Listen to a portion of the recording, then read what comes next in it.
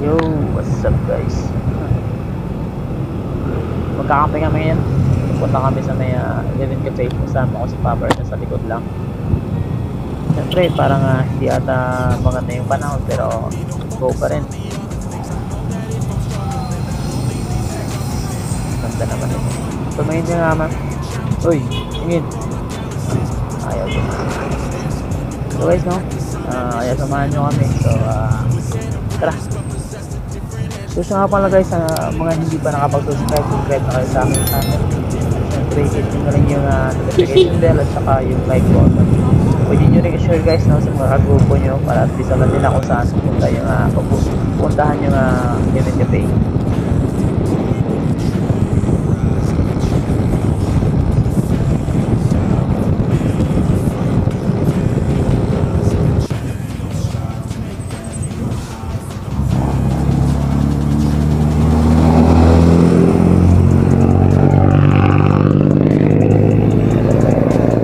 man ato ana edi.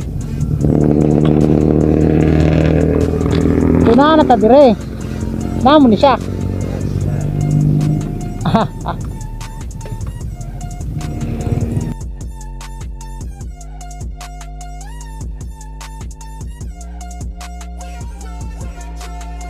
Can't stop when I train like that. Got eyes on the prize when I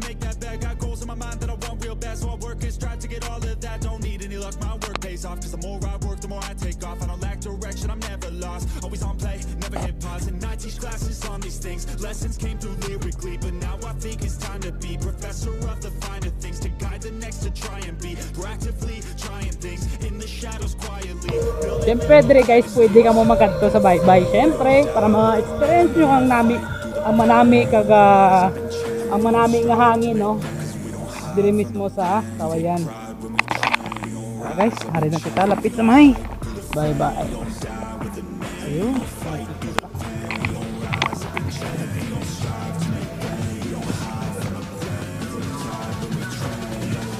Sa mga lugar, kailangan namin picture kita karon.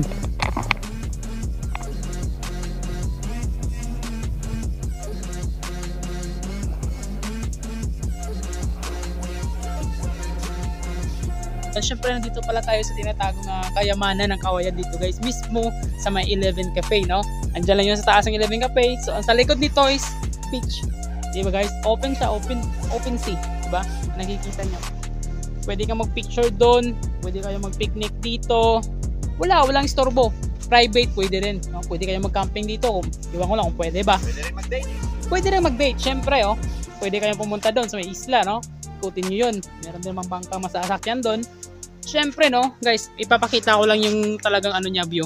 Yung hangin is sariwa, malapit sa dagat, pwede ka mag-picnic, pwede ka mag-ano dyan, kahit na ano, no, pwede kayong mag-ano, mag, ano tawag doon, mag-picnic dito o mag-camping dito mismo. Pero hindi ko lang alam kung baka, baka ano, ah, pinapa, ah, tumataas yung tubig dito, baka aabot dito. Pero meron naman mga cottages doon. Kaganda guys, syempre wala kang hindi mo akakalain na meron pala yan dito, di ba? So first time, actually first time ko dito. Ang tagal-tagal ko na sa Negros pero first time ko dito.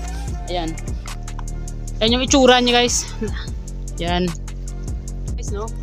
So uh, near at ano lang dito. Uh, nandito lang sa may uh, 11 Cafe, no? Sa ilalim nun may uh, daanan kayo pababa. No? Makikita niyo yung view dito 'yon. Makikita niyo may mga cottage- cottages doon.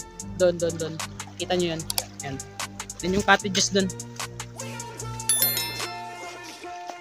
Yan. Yun.